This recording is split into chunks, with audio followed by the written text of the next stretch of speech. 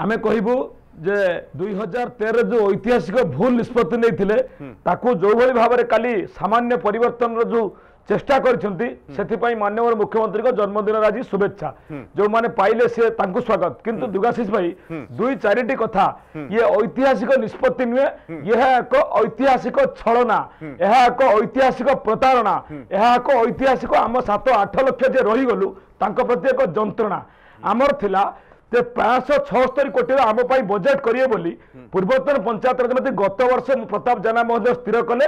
ଦିଥର clear discussion September ସାତ November ତିରିଶ ଦୁଇ ହଜାର ଏକୋଇଶ। ଡିସେମ୍ବର ଦଶରେ କ୍ଲିୟର ଯୋଜନା ହେଲା ପାଞ୍ଚଶହ ଛଅସ୍ତରୀ କୋଟି। ଦୁର୍ଗାଶିଷ ଭାଇ ପାଞ୍ଚଶହ ଛଅସ୍ତରୀ କୋଟିରେ ଷାଠିଏ ହଜାର ପିଲା ଚଉଦ ବର୍ଷରେ ମୁକ୍ତି ପାଇଥାନ୍ତେ। କିନ୍ତୁ ଆଜି ସତାବନ ହଜାର ଲୋକଙ୍କୁ ସେ ତେରଶହ କୋଟି ଖର୍ଚ୍ଚ କରୁଛନ୍ତି।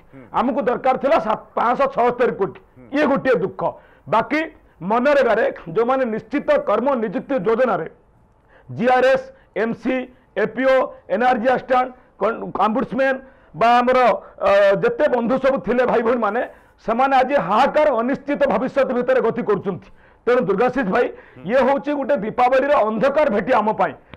आलोकर भेटी आम अंधकार भेटी। कि रहस्य कथाटी बुझु से कंट्राक्चुआल नुहति से प्रकृत में दरमा पाई टीचर मैंने आगुरी बहुत बेसी। हम्म। ये सरकार तेरह मसीहार नुआ विधि व्यवस्था भूल व्यवस्था कले जो कि आज कौन इनिशियाल आपंटी पुणी नहीं रेगुला कितु प्रकृत कंट्राक्चुआल आम मैंने आज लाइन में अच्छे। ଲାଇନରେ ଅଛୁ ପ୍ରକୃତ କଣ୍ଟ୍ରାକ୍ଚୁଆଲ ଜିଆର୍ଏସ୍ ପ୍ରତିବର୍ଷ ଚୁକ୍ତି କରୁଛି ପ୍ରତିବର୍ଷ ଏପିଓ ପ୍ରତିବର୍ଷ ଏମ୍ସି ପ୍ରତିବର୍ଷ ଯେଉଁମାନେ ଆୟୁଷ ଡାକ୍ତର ଏମାନେ ପ୍ରକୃତ କଣ୍ଟ୍ରାକ୍ଚୁଆଲ କିନ୍ତୁ ଇଏ ଗୋଟେ ଠିକ ପରମ୍ପରାର କଥା ନୁହେଁ ତେଣୁ ଯେଉଁମାନେ ଆମେ ଆଜି ବସିଛୁ ଆମେ ସମସ୍ତେ ଅନ୍ଧକାର ଭେଟି ପାଉଛୁ ଓକେ ଅନ୍ଧକାର ଦୀପାବଳି ଭେଟି ପୂର୍ବରୁ କାହାକୁ ଆଲୋକ ଦୁର୍ଗାଶିଷ କାହାକୁ ଭାଇ ଅନ୍ଧକାର ଆମ ଜରିଆରେ- ସରୋଜ ବାବୁ ଆପଣଙ୍କ ସହିତ ବି ସମାନ ହେଇଛି ଆପଣଙ୍କର ସଂଘ କ'ଣ ଡିମାଣ୍ଡ କରୁଥିଲା ଏବଂ ଏମାନେ ଆପଣଙ୍କ କଥା ଶୁଣିଲେନି ଦେଖନ୍ତୁ ପ୍ରଥମେ ଅଭିନନ୍ଦନ ଜଣେଇବି ଯେଉଁ କର୍ମଚାରୀମାନେ ବର୍ତ୍ତମାନ ଠିକାରୁ ମୁକ୍ତି ପାଇଛନ୍ତି ଏବଂ ଆଜି ମୁଖ୍ୟମନ୍ତ୍ରୀଙ୍କୁ ମଧ୍ୟ ମୁଁ ଅଭିନନ୍ଦନ ଜଣେଇବି ଏହି ମଞ୍ଚରୁ କିନ୍ତୁ ସବୁଠୁ ଦୁଃଖର ବିଷୟ ଯେ କନିଷ୍ଠ ଶିକ୍ଷକମାନଙ୍କୁ ବା ଯେଉଁମାନେ ଶିକ୍ଷା ସହାୟକ ଯେଉଁ ପ୍ରଥା ଆରମ୍ଭ ହୋଇଥିଲା ସ୍ୱେଚ୍ଛାସେବୀ ଶିକ୍ଷା ସହାୟକ ଏବଂ ଶିକ୍ଷା ସହାୟକ ପ୍ରଥା ଆରମ୍ଭ ହୋଇଥିଲା ଦୁଇ ହଜାର ଏକ ମସିହାରେ।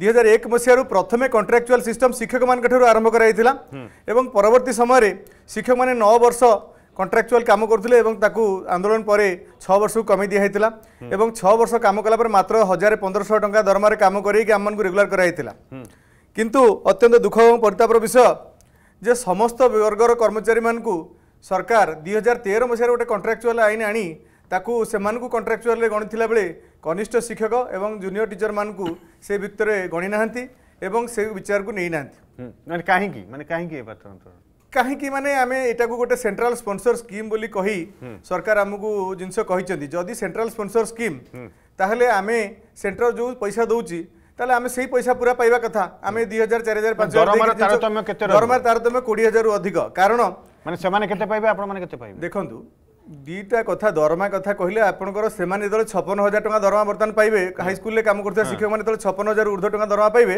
ସେତେବେଳେ ଆମେମାନେ ମାତ୍ର ଏଗାର ହଜାର ଦୁଇଶହ ଟଙ୍କା ପାଇବୁ। ଏବେ ମାତ୍ର ଆପଣ ଏଗାର ହଜାର ଟଙ୍କା ପାଉଛନ୍ତି। ହଁ ସେ କଥାଟା ଆମମାନଙ୍କୁ କନସିଡର କରାଯାଇନି। କାହିଁକି? ନା ପ୍ରଥମେ ହେଲା ଆମମାନଙ୍କ ଯାହା ପୁଅକୁ ଯାହା ସାପ କାମୁଡ଼େ ନା ତା ମା ପାଳ ଦୌଡ଼ି ଦେଖିଲେ ଡରେ।